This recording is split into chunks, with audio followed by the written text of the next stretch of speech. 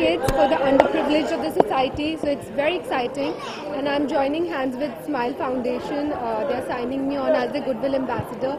So there are lots of work, uh, बहुत सारी activities हैं जो हमने plan की है. So धीरे धीरे we'll announce that. Virat Kohli foundation भी से हो चुके हैं विराट का अच्छा परफॉर्मेंस टीम देखी सबको लोग आप क्या चाहते हैं कि वो भी इंडियन टीम के क्रिकेटर्स बने आने वाले समय में आप, आपको क्या लगता है I think of course because बहुत talented हैं तो definitely uh, you know Virat should be crowned the captain of the Indian cricket team. Ma'am, you always have a gift for your fans on the month of Feb, that is 14th Feb. Last year it was Gyaria, this year it was Sanam Re. So, uh, what is next? You know I am just मैं अपना दूसरा project अभी plan कर रही हूँ और uh, जल्दी announcement सुनेंगे अभी आई थिंक आज टुडेज विराट अनाउंसमेंट या you were eager to work with Salman Khan. So, is it project still on or what is it?